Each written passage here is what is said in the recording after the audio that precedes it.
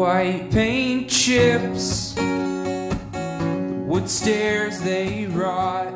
Coming back to my freshman year, my first semester, I went to an open mic and I was pretty blown away by the amount of talent that we have at Hendrix. And I was talking to my roommate and I was like, we need to showcase this. So I started thinking about how we could do that and then I realized that I could make an Odyssey project out of it.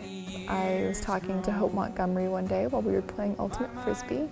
We were just talking one day about uh, how many talented singer-songwriters we think that are on campus right now. And so we started forming this idea of creating an, an, album, recording all these different artists on campus, and before long we had an Odyssey project that we ended up titling Hear Hendrix that includes 11 musicians off uh, Hendrix campus, including Katie and myself.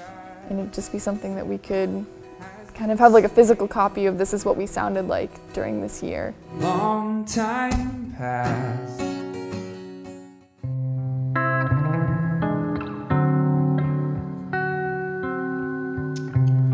You're gonna wreck on with me later. My mom always felt that uh, music was a part of our education, so um, me and my sister both took uh, music lessons and then eventually started playing guitar. I had kind of been reading through the Odyssey stuff, and I'm also very good friends with Hope. She just asked me if I'd like to participate, and I said, absolutely, it sounds like a blast.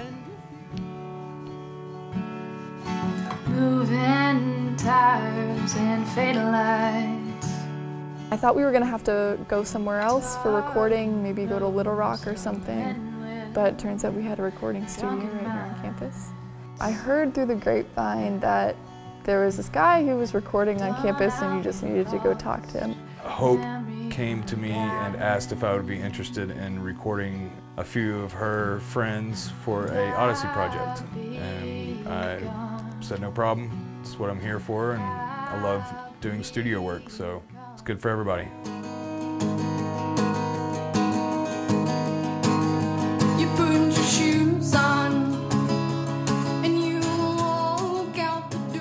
Odyssey has given us um, the means to do what we're doing.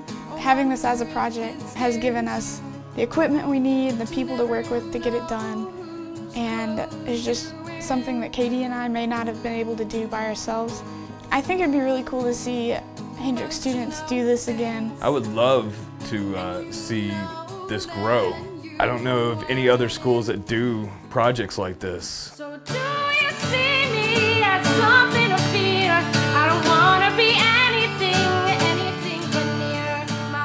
I actually can't see myself not playing music because it's been the number one passion my entire life.